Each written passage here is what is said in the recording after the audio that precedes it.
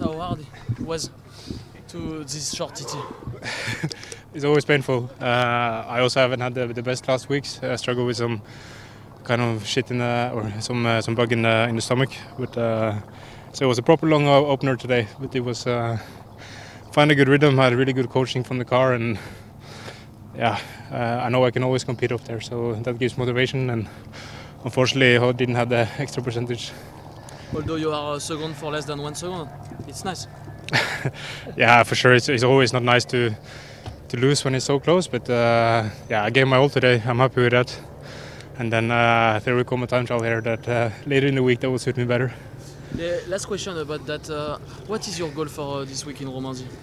Yeah, I need to get uh, my shape up a bit, bit for the Giro because of some sickness. So my main focus will be getting a good week of training and and a good racing load in legs. But uh, yeah, I'll not drop on purpose. So so we will see how, how it go, goes in the end. But uh, expectations aren't really high for uh, for other than time trials.